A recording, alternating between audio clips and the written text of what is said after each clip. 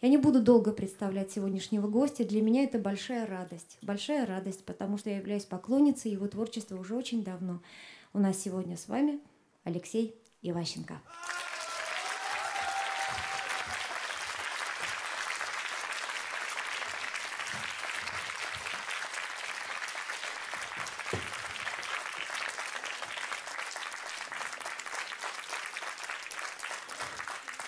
Здравствуйте, дорогие друзья. Спасибо большое за столь горячий прием. Я сам нахожусь в таком эйфорическом состоянии. Э, меня очень давно приглашали сюда, на это э, потрясающее совершенно событие, на эту летнюю школу. И все никак не складывалось, не, не, не совпадало по времени. И в этом году как-то все, вот Светлана правда говорит, все у всех все совпало в этом году. И у меня тоже все совпало, я добрался до вас, и уже теперь все, держитесь. Сейчас как начну пить, не остановитесь. Короче, в общем, мысль вот какая у меня возникла. А, составлять какую-то программу, ну, право, глупо. Потому что у вас же есть какие-то светлые идеи относительно того, что вы хотите услышать. Правда же? Я не знаю, принято ли у вас здесь писать записки. У нас тут принято на них отвечать. Я не знаю, принято ли здесь это делать в письменной э, форме. Мне кажется, что можно и в устной вполне. Э, если вам вдруг захочется что-то, э, что-то интересное, то кричите. Главное, не посреди песни, ладно? Вот. А, ну, для тех, кто не, не, не знает, так бывает иногда, что люди как бы не знают, чего сейчас будет. Сообщаю, меня зовут Алексей Иващенко, мы с моим другом Георгием Васильевым несколько десятилетий, страшно сказать, несколько десятилетий сочиняли и пели песни. Потом мы перестали это делать, потому что мы занялись сочинением крупной формы. Мы написали мюзикл, который назывался «Нордост». А, Нордост шел в Москве в течение а, целого сезона, даже чуть больше, целый год практически в ежедневном режиме. Потом он, к сожалению, а, по независимым от нас и трагическим обстоятельствам показы Нордоста прекратились. Каждый из нас сейчас занимается своим делом. Очень редко мы иногда встречаемся и поем песенки. Такое тоже иногда случается. Но в основном это старые песенки. И объяснение этому очень простое. Я сразу Э, дам сразу ответ на многочисленные вопросы, почему не поете вместе и чем занимается Георгий. Не поем мы вместе по э, одной очень простой причине. Для того, чтобы выступать так, как мы выступали когда-то, там 15 лет назад, нужно 6-8 часов в неделю репетировать. У нас нет этого времени. Нужно сочинять новые песни, нужно посвятить этому жизнь. Э, наши жизни посвящены совершенно другим вещам. Георгий вообще занялся совершенно другим делом. Он э, продюсирует мультипликационные фильмы. Те, у кого из вас есть дети и, например, внуки, прекрасно знают, э, что такое фиксики. Да, фиксики придумал Георгий Леонардович, песенки для них тоже он придумал. А, иногда мы даже их там вместе поем, но это случается крайне редко, раз в год, если не реже. А сейчас давайте начнем издалека с тех песен, которые мы когда-то вдвоем сочиняли. А, тем более, что некоторые из них категорически не хотят выходить из репертуара. И первая песня, с которой я начну, песня, которая, наверное, одна из самых первых наших песен совместных э, в совместном исполнении. Песня Георгия Васильева на стихи Галины Чмиревой, выпускницы географического же факультета, мы выпускники географического факультета МГУ. Песня, которая называется «Не договаривая фразы».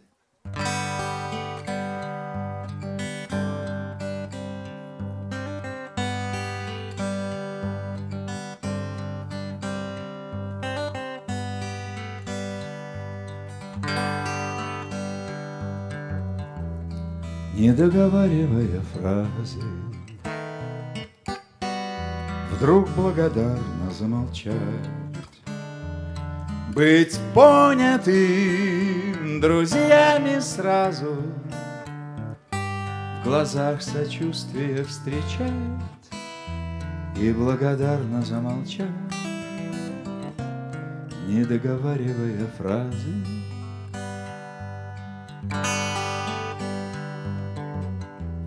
Судом друзей не будет встречи. Наш самый безрассудный шаг. С чужими часто все не так. Закон непонимания вечен Но даже наш неверный шаг. Судом друзей не будет встречен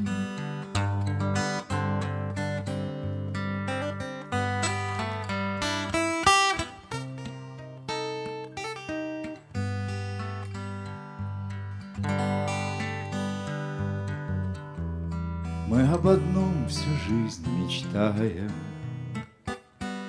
Быть понятым и понимать. Мучительно в других врастая. Снять отчуждение печать Чтоб благодарно замолчать.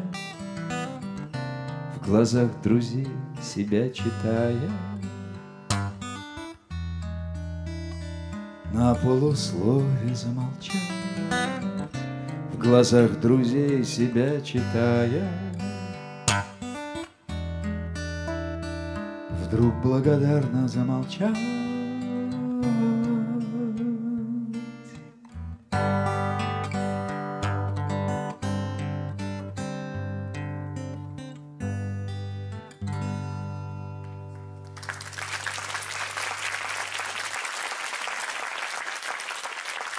Спасибо большое.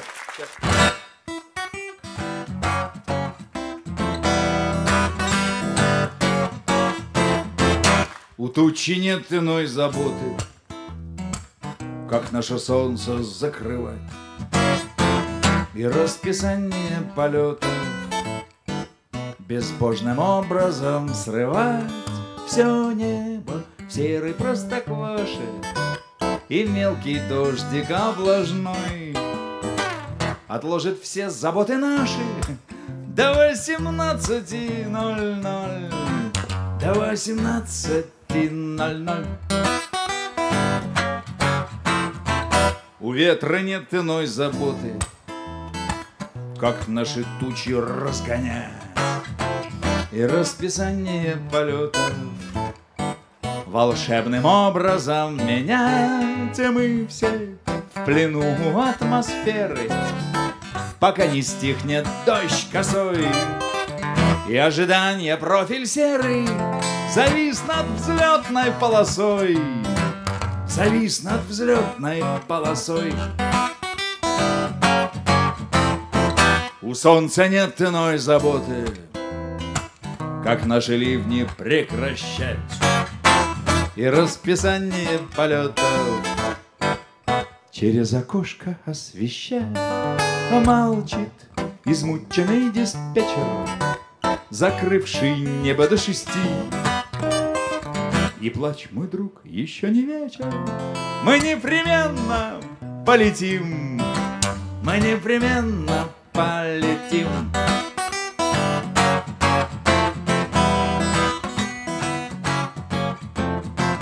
У жизни нет иной задачи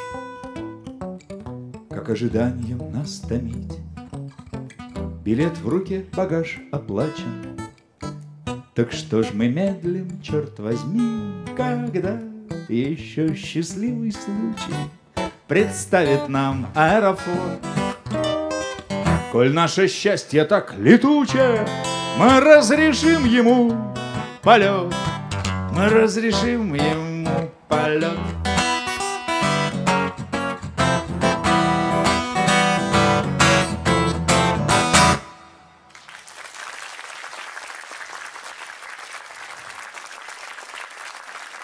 Спасибо. Еще одна песня из тех далеких времен, когда мы путешествовали по необъятным просторам нашей бескрайней родины. Я-то просто по долгу службы, э, можно сказать, путешествовал. Георгий тоже. Мы э, заканчивали географический факультет, как я уже сказал. Но, правда, я заканчивал кафедру физической географии зарубежных стран, а Георгий наоборот. Экономической географии Советского Союза.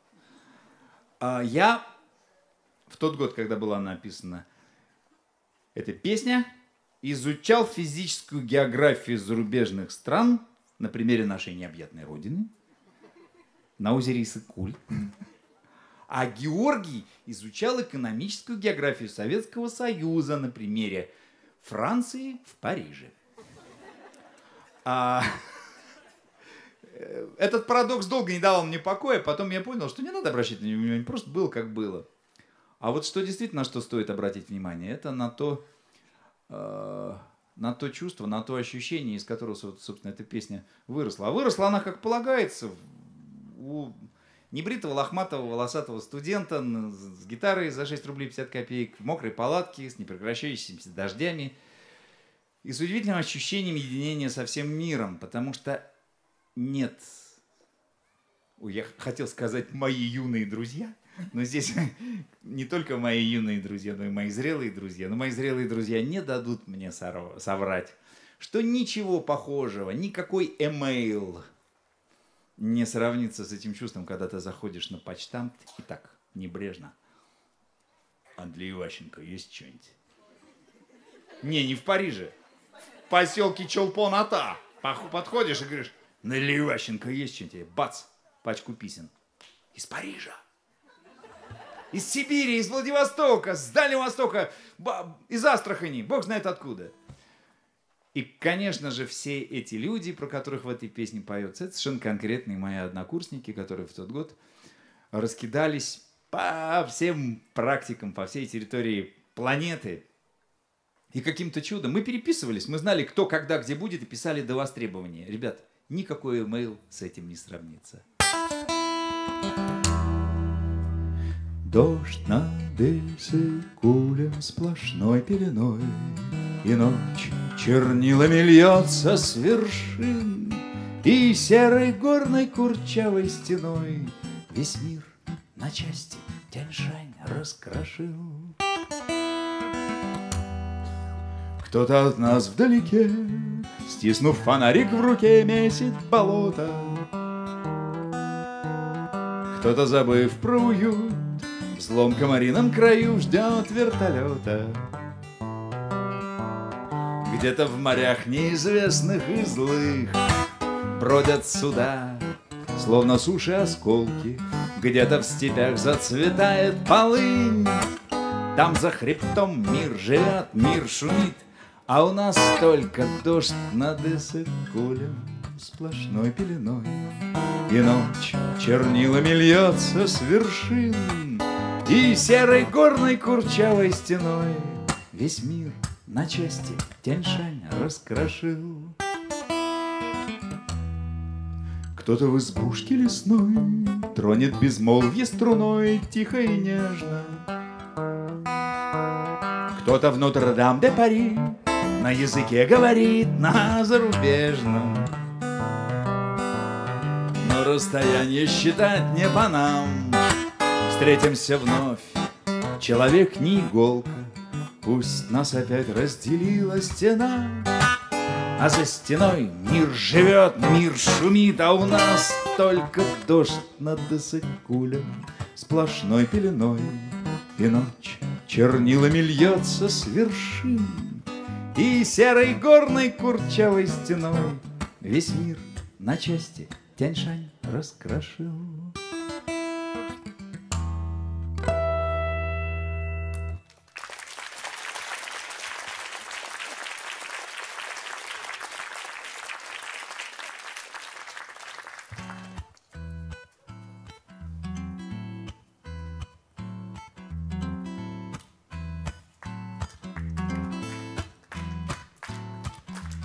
Кончается четверг, и дождик мелок, И сквозь него едва-едва видны Два косяка летающих тарелок. Над мокрой территорией страны И девушки, бегущие с работы по лужам торопливо семеня. Промокший двор в нем промокший кто-то, Немножечко похожий на меня.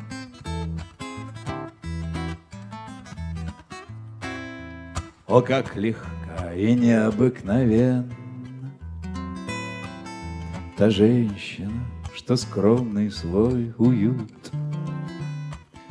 Несет в химчистку в сумке здоровенной, Немножечко похожей на твою.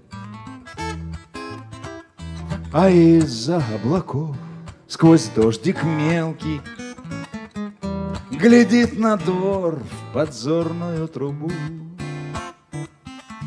Борт-инженер летающей тарелки немножечко похожий на судьбу.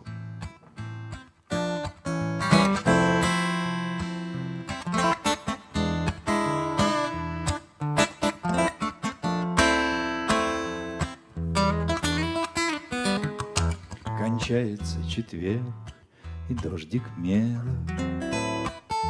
И трудно разглядеть в промозглой мгле Чего-то, что на небо улетело, И то, чего осталось на земле. И две фигуры посреди стихи, Друг с друга не спускающие глаз, Промокшие, слепые и глухие, Такие не похожие на нас. Счастливые, слепые и глухие, Такие не похожие на нас.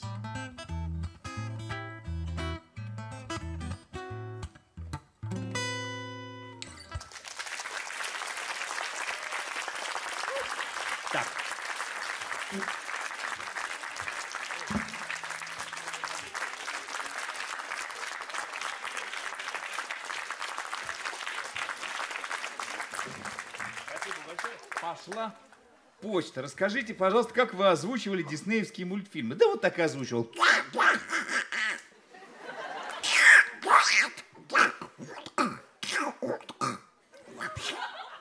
Спасибо. Большое спасибо. Прокрякал 10 лет.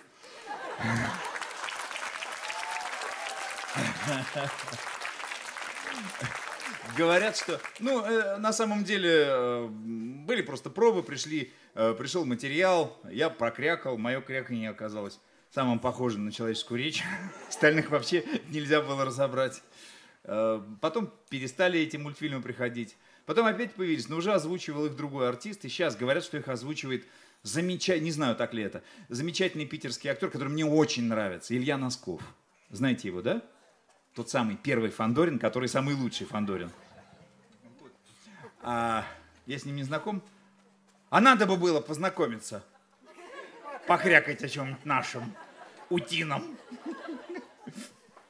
Так. Вот, да, здесь можно из этого будет что-то исполнить. Капитанов вряд ли не получится. Селедку тоже не получится. А и метрополитен, и бабишкарик, и в дым. Это прям программа второго отделения практически без исключения. Холодильник, надо мне в антракте его порепетировать, и я его тоже смогу спеть. Да.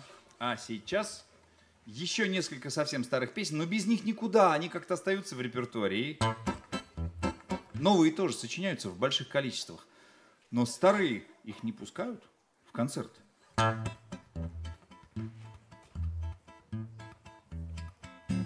Попугая с плеча Старый боссман сними Я к тебе заглянул На минуту-другую Я сопливый матрос.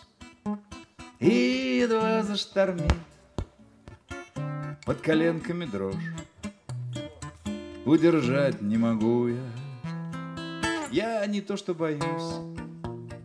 Просто же я не привык. Хоть в мои-то года Быть пора б капитаном Я хочу все уметь.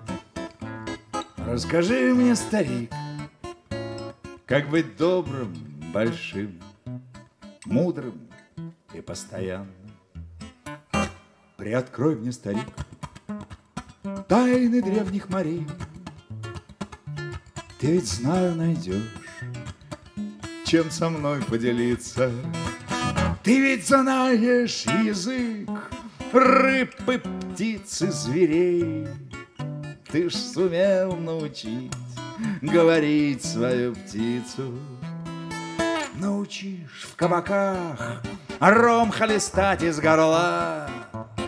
Научи соблазнять длинноногих красоток.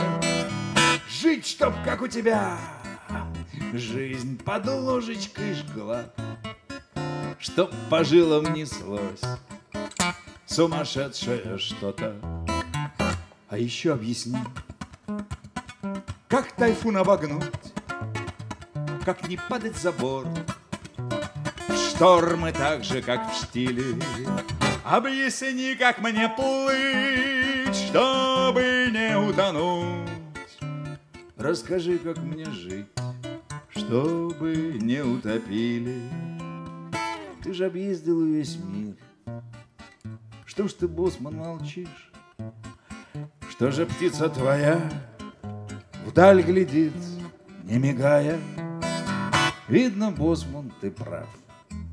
Жить нельзя научить, можно лишь научить говорить попугая. Нам по шкуре чужой не прочесть ничего. Мы на шкуре своей все испробуем вскоре. Неужели ж нам в штиль греть под солнцем живот? Не затем мы идем в беспокойное море. Я уж как-нибудь сам жизнь рискну изучить. Можно ли боцманом стать, бурь и гроз избегая? Так что ты уж молчи, старый боцман, молчи. И скажи помолчать своему попугаю.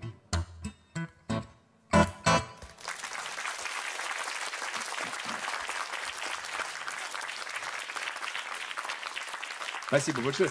Э, многие песни того времени, вот как та, та же, например, «Селедка несчастная», они сразу сочинялись для двух гитар. И на одной гитаре их сыграть практически невозможно. Спасибо большое. Сейчас я прочитаю, да. Давайте.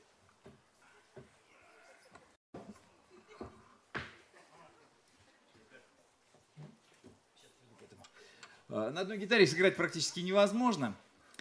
И я думал, что ну выпали, значит, из репертуара песни, не буду их петь никогда. Так произошло и со следующей песней, которую сейчас спою.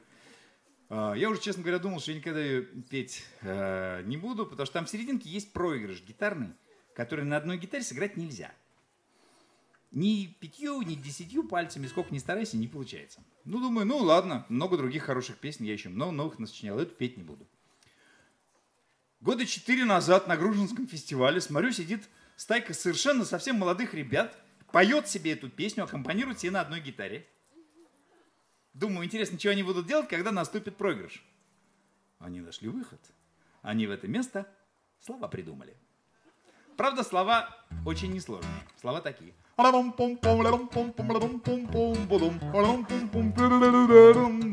Я слова выучил. И понял, что эту песню можно петь в одиночку. Более того, вовлекая в это действо окружающих.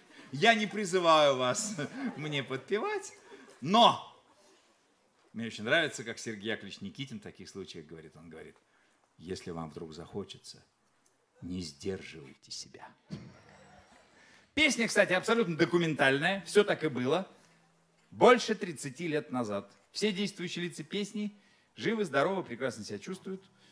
А, Песня называется «Песня про то, как мы строили навес на даче у Евгения Ивановича».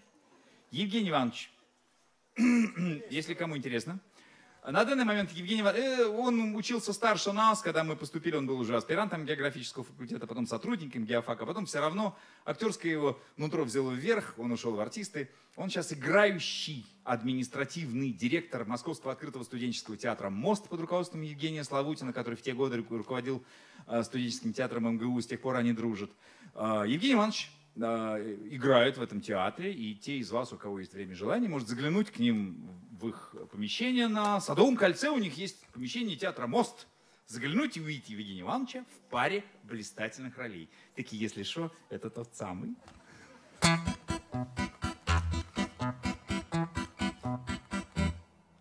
На кочках цветочки, за кочками лес, На дальней глухой полустаночек, Наладив пилу до рубаночек, С утра мы приехали строить навес. На дачу к Ивановичу.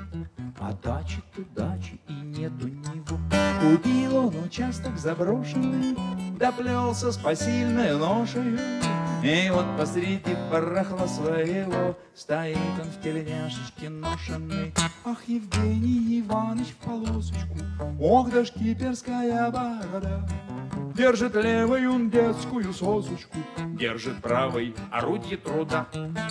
Евгений Иванович морская душа, И дочка его Маришанечка, Душою морскою в папанечку, Расписывать всем, как она хороша, Часами он может за чайничком. Чаю, мы рвемся скорей, Докончить навес перемычками, А то ведь беда с электричками, Ведь спать как хозяин без стены дверей, На голой земле без привычки мы. Залезает он в спальничек спаренный, Каждый вечер себе говоря, А ничего, перетерпим, не баре, мол, Будем греться пока изнутря. Корежит и гнет его радикулит Прохладною майскою ноченькой, Но строит и строит он прочненько, А дачи все нет, а мотор барахлит. Плевать, не себе же, а доченьке. Я знаю, дача будет. Я знаю, садутся весть, способны наши люди Не спать, а не пить, а не есть, Таскать кирпич под мышкой, Век путаться в долгах, Чтоб свить гнездо детишкам У черта на рогах.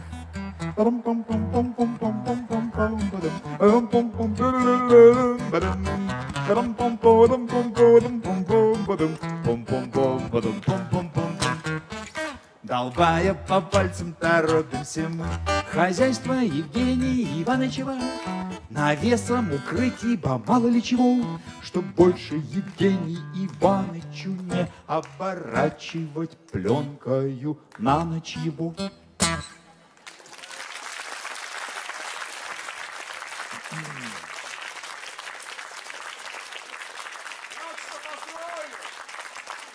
Ой, мамочки.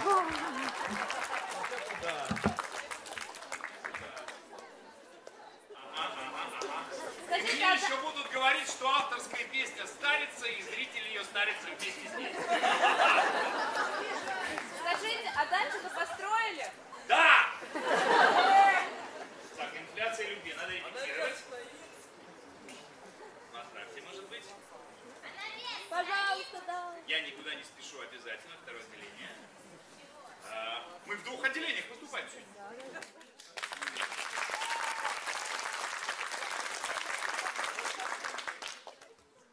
В мультиках не очень много было ролей. А, Ну, была одна большая роль. Это Джин в сериале «Аладдин». Это ой, там завивал, завывал, говорил что-то. Но самая смешная была, конечно, роль. Помните, был фильм «Кто подставил кролика Роджера»? Помните? Там такой был желтенький автомобильчик.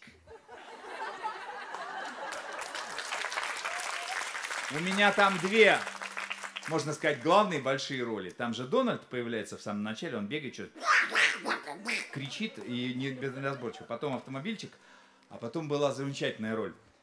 В самом конце этого мультика, если вы помните, когда э, э, сыщик э, на своей машине, мультмашине на этой, въезжает в Мульттаун, то кругом все поют песенку. Та-та-та-та, та-та-та-та-та-та-та-та та такой хор большой мульти- мультиков всех, они все поют. В этот момент на студии, кроме меня, не оказалось ни одного человека с музыкальным слухом. Поэтому всех, всех мультиков в этом хоре, в этом хоре звучит только мой голос, больше ничей. Вот найдите, это очень смешно. А еще много было довольно разных э, персонажей, которые я озвучивал. Это и Брюс Уиллис в трех фильмах, э, Хью Грант. Ну, Хью Грант просто это был мой любимый артист. Э, в это дневник Бриджит Джонс, Нотин Хилл, моим голосом говорит. Э, Довольно много было озвучений. Сейчас дочь моя озвучивает больше меня, а- актриса Мария Иващенко.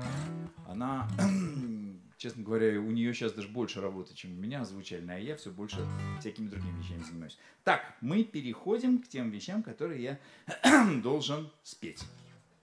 Вам там так же хорошо слышно, как мне здесь? Так я вам просто завидую.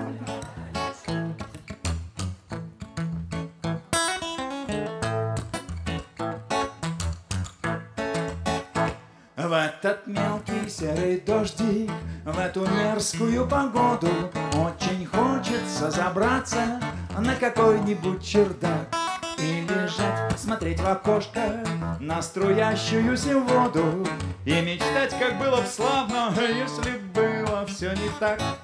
И своей нелепой жизни Сочиняя оправдания Поливать себя презрением Но не очень, а любя Размышлять по ходу дела О проблемах мироздания И жалеть по всей программе Непутевого себя Непутевого себя Бестолкового А не способного включить автостоп И как опыт показал Не готового К вероломству этих женских особ но к концу подходит время, отведенное на слезы, И несчастные любови исчезают, словно дым. Просто завтра будет солнце, и уйдут на запад грозы, И я вновь, как конь фанерный, поскочу тых-дым-тых-дым. Так что, если есть потребность утопиться, удушиться, Этот мелкий серый дождик просто Божья благодать. Ведь в хорошую погоду на такое не решиться И уж вовсе невозможно полноценно оправдать Не путевого себя, бестолкового А не способного включить автостоп И как опыт показал, не готового К легкомысленности женских особ не путевого себя, а бестолкового, а вечно полного бредовых идей. И как опыт показал, не готового к легкомысленности женских людей. К легкомысленности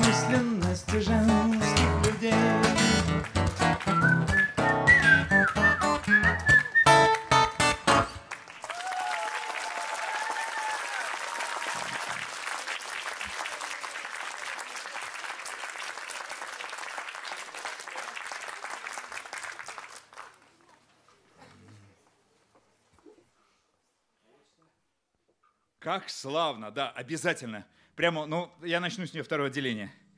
Алексей, не, не, не те ли заветы Ильича здесь рядом, где были ваши пикники? Можно исполнить пикник в завесе, заветах Ильича? Можно! Почему нет?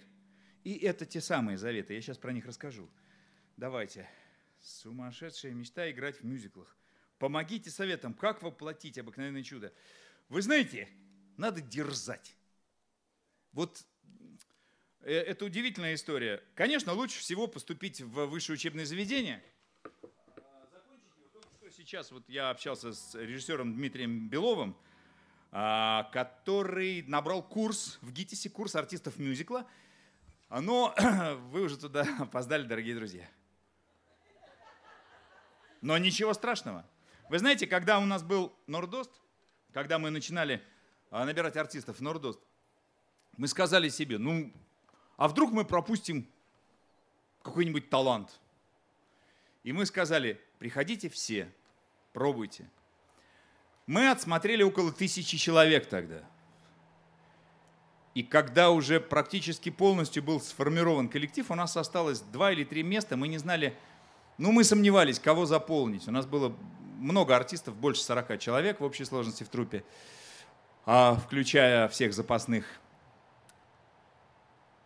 и вы не поверите, одним из кандидатов, над которым мы долго очень э, э, сомневались над его кандидатурой, был артист, которого зовут Алексей Бобров, который на тот момент не был никаким артистом, а был учителем начальных классов города Ногинска и в свободное от основной работы время играл немножко в местном драматическом театре, поскольку там где-то не хватало народу.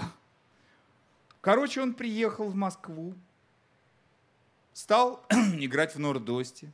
После Нордоста стал играть в... Э, где он? В Чикаго, потом еще где-то, еще где-то, еще где-то, еще где-то. Сейчас Алексей, без Алексея Боброва не обходится ни один э, крупный московский мюзикл.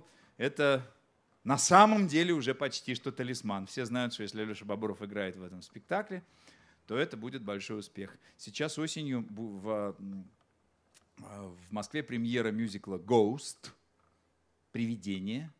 Помните, был такой фильм с Деми Мур и Патриком Суэйзи? Про то, как его убивают, а он находит на том, в неком там, пространстве того света, находит страшную такую негритянку, которая играет Вупи Голдберг. И Вупи Голдберг слышит его, и она доносит информацию его до его жены Молли, и Сэм спасает ее там от гибели. Вот написан мюзикл на эту тему. А, есть очень значительная вероятность, просто не могут никого найти. Спасибо большое. Есть очень значительная вероятность, пока эта роль, на эту роль никто не утвержден, сейчас на данный момент действующим вариантом является э, тот, то, что роль вот этой Вупи Голдберг, огромный черный, чернокожей предсказательницы, будет играть Алексей Бобров. Я очень надеюсь. Спойте, пожалуйста, вашу самую любимую песню. Спою во втором отделении. Самое любимое это обычно наиболее, э, как бы, последнее по времени. И с удовольствием их спою. Во втором отделении их будет много новых. А сейчас спою тоже новую совсем песню, очень ее люблю, ей еще нет полугода. Она появилась недавно, и, как мне сказала жена, ну, наконец-то ты сочинил сиквел. Знаете, что такое сиквел? Это вторая серия. То есть вот песню сочинил, а через прошло 20 лет. И ты сочинил вторую песню на эту же тему. Вот перед этим только что была песня про то, как очень здорово забраться на какой-нибудь чердак и лежать смотреть в окошко. Вторая серия. Мне всегда казалось, что у одного очень известного детского поэта есть недосказанные, недосочиненные, недописанные произведения. Кто самый, в общем, с детства, как, чьи стихи мы узнаем раньше всего? Друзья, не, не, не, не, пытайтесь догадаться. Это поэты из цветочного города Цветик и Незнайка. Цветика помните? Да я поэт, зовусь я Цветик, от меня вам всем приветик. Очень хорошие стихи. Месседж вполне ясен, внятен, а у Незнайки как-то все было недоделано. Я поэт, зовусь Незнайка, от меня вам была лайка. Почему, собственно, была лайка? Ну и шедевр по недосказанности, абсолютно шедевр, это э, у подножия ромашки я лежал, задрав тормашки. Я решил, что вот это точно надо досочинить. Песня по мотивам ранних произведений Незнайки из цветочного города – у подножия ромашки.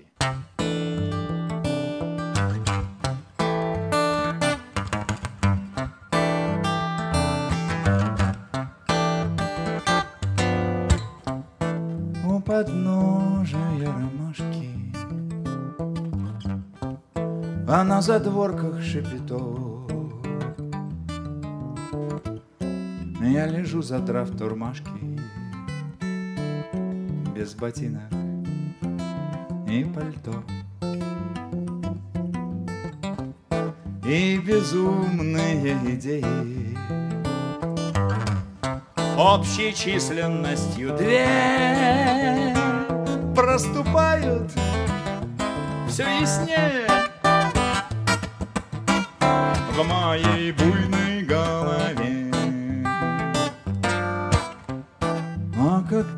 первая идея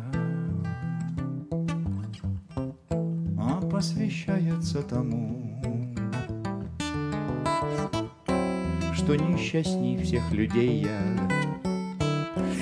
и непонятно почему. Бог мой, Господи Иисусе, объясни мне от чего из всего, за что берусь я, не выходит ничего. Бьюсь, как пойманная щука, но не хлопает никто. Всем моим смертельным трюком в этом драном шипито. А в общем полнится тревогой. А моя буйная голова Но приходит на подмогу. Мне идея номер два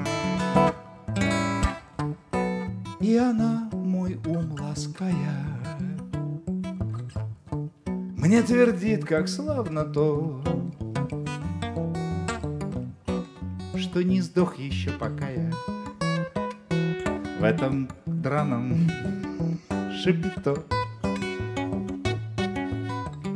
В этой гадской богадельне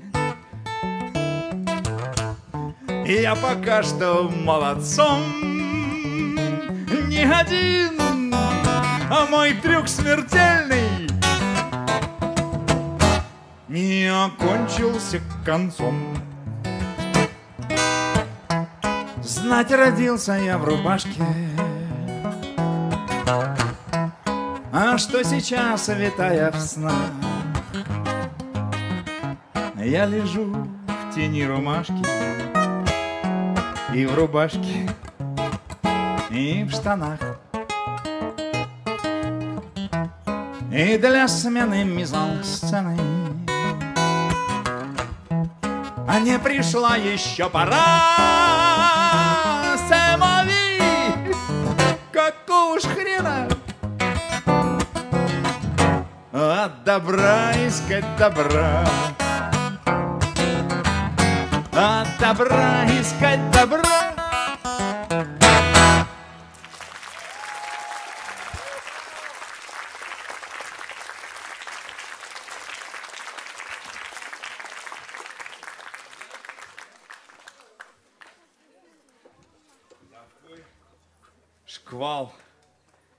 информации по всей Руси вели, к сожалению, не путевка тоже. Это все для двух гитар. Очень много просите спеть старые песенки.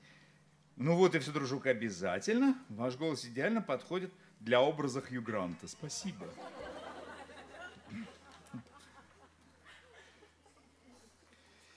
Эх, любую песню из Нордоста. А давайте. В Нордосте есть одно единственное произведение, которое можно попробовать спеть под гитару. Вообще он сочинялся под фортепиано, на котором я вообще-то играть не умею.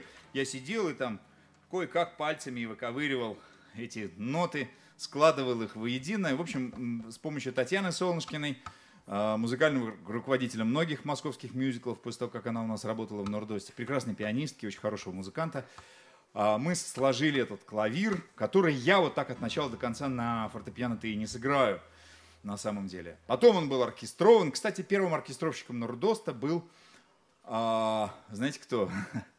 Мы просто поняли, что это должен быть вот прям наш человек.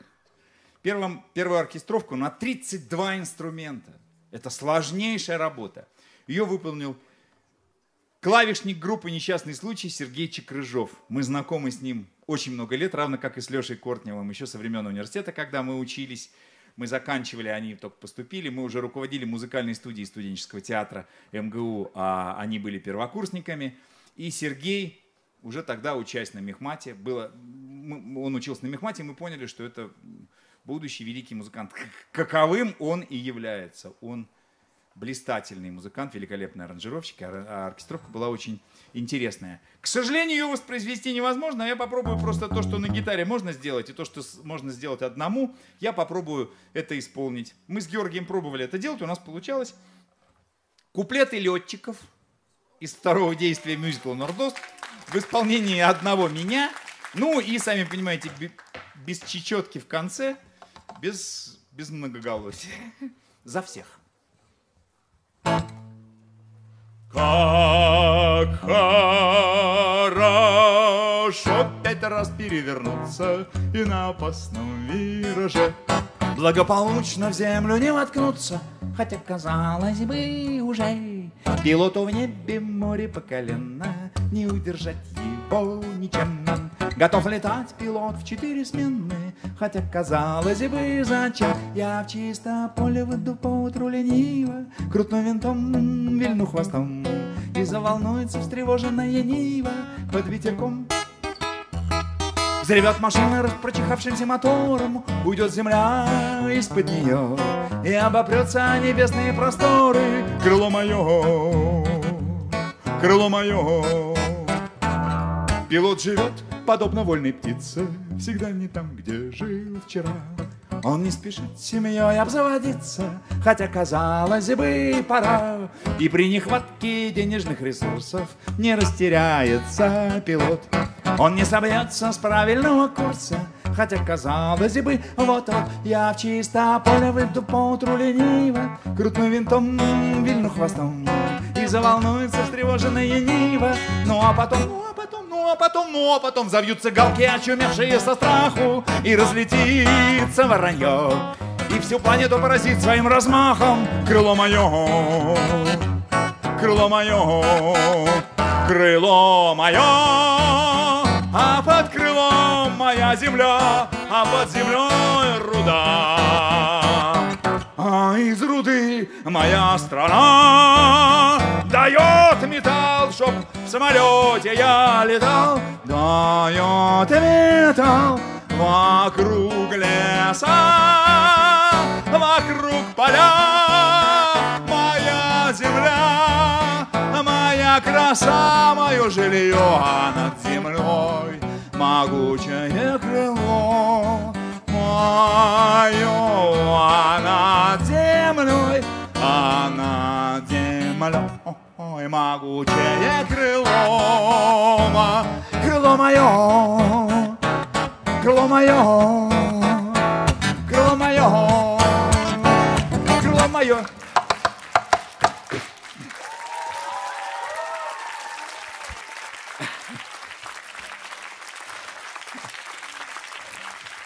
Спасибо большое.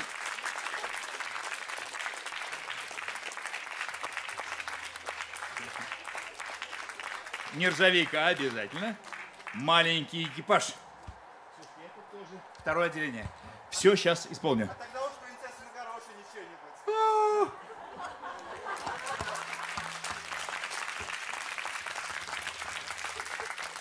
Осенью этого года исполнится 41 год принцессы Негорошины. 41 год, труд- трудно представить себе, да? 40... В 1976 году осенью мы с Георгием написали наш первый музыкальный спектакль. Да, собственно, не написали, мы дописали музыкальную сказку новеллы Матвеевой а, а, «Принцесса на горошине». А, Это была даже не совсем музыкальная сказка, это был некий цикл песенок на тему «Принцессы на горошине», который мы решили поставить. Когда мы стали его ставить, выяснилось, что он не ставится – потому что это не театральное произведение. Тогда мы в свойственной нам бесшабашной манере взяли и все пересочинили. От новеллы Матвеева остались, ну не русские доножки, осталось несколько очень красивых э, кусочков, и одна ария полностью осталась. «Ах, не спрашивайте, королева, э, хорошо ли я сегодня спала?» Это ария принцессы. А почти все остальное мы пересочинили. А, повсюду я искал себе невесту, судьбу доверив вольному Зюидвесту. Это тоже пел принц, возвратившийся из своего путешествия. А самое начало мы пересочинили. Начиналось все с того, что, а, чтобы вы понимали, как это все выглядело, все пространство сцены было полностью затянуто белой тряпкой. Просто был такой белый экран. На этом экране светилось два больших окна. Это были окна замка. И в этих замках действовали четыре действующих лица. Принц, принцесса, король и королева. А, Они существовали только пластически, было видно только их тени, их с этой стороны подсвечивались, и вы видели их а, тени, которые действовали. А перед сценой сидели четыре музыканта, принц, принцесса, король, королева, и сказочник, который рассказывал всю эту историю. А, И за этих четырех персонажей пели. Я сейчас попробую за, за всех спеть, ну, как минимум за троих, за короля, за королеву и за принца. Начиналось все с того, что загорался одно окно, и было видно, как принц, ну, это была дань географическому факультету, собирал рюкзак, потому что он отправлялся искать себе невесту. Появлялся отец и говорил, сын мой, что все это значит? Что за куча багажа? Мама говорила, уж не вздумал ли мой мальчик ты из дома убежать? Что ты папа, наш прекрасный замок. Ни на что я не сменю, просто я решил, что вырос мама. И решил, что я женюсь. Мама падала в обморок, папа кричал. Все начинали бегать.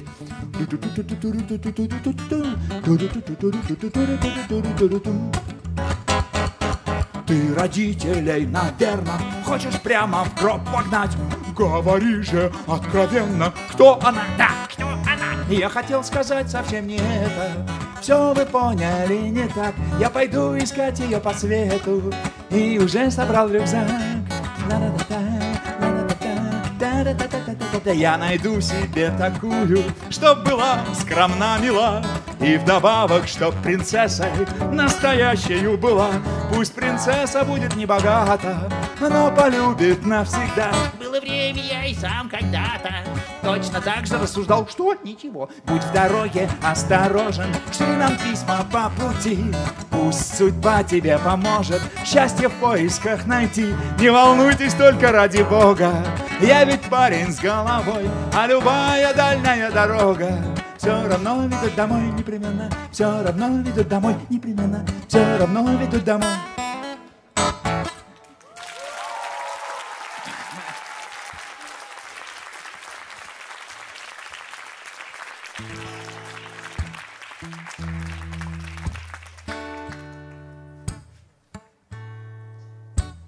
Повсюду я искал себе невесту Судьбу доверив вольному зюдвесту Но на...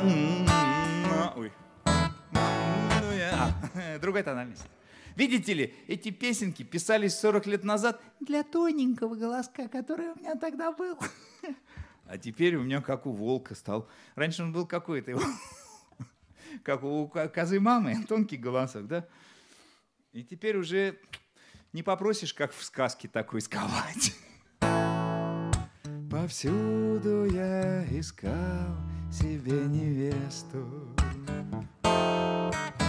Судьбу доверив вольному зюдвесту.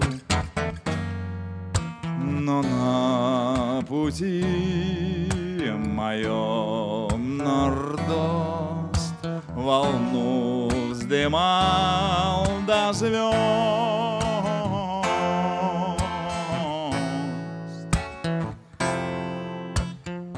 Сюдвест был чудаком и оптимистом. Он выпасал барашков в море чистом. Нордост скептичен и суров Гонял стада балов Он объездил весь белый свет, но так и не нашел себе невесту. Опечаленный принц вернулся домой. Одна глупа смеется слишком громко. Другая холодна, как экономка. А третья блещет красотой. Да все не той, не той, не той. И, и так далее. Сцена продолжалась.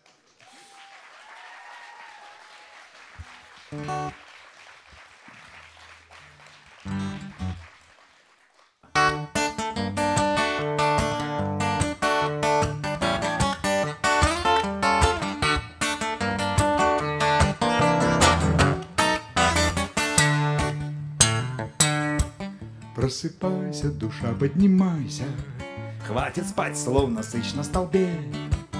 Поднимайся, душа, принимайся, На кларнете играть и трубе, И в пучине бесстрашно кидаться, И ляфом, как и прежде, шерше. А ведь приходит пора пробуждаться, Даже очень уснувшей душе. Потому что она, потому что она Обормоту тебе не случайно дана. Ведь когда в небесах делать начали нас Для тебя кто-то именно эту припас И назад. Ее примут едва ли До того, как наступит пора. А попытки ее потихоньку продать Они доводят, увы, до добра.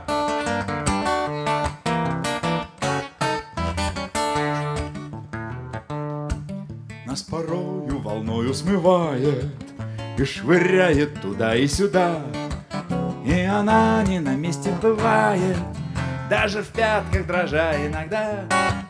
Но потом прибегает обратно Не давая тебе отступать. Ты лишь вовремя и аккуратно Подавай ей команду. Не спать Потому что она, потому что она.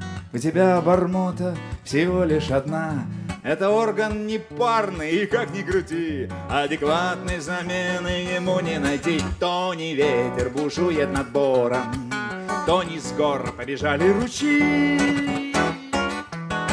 Это снова и снова кларнет и труба Подают позывные свои Подают позывные свои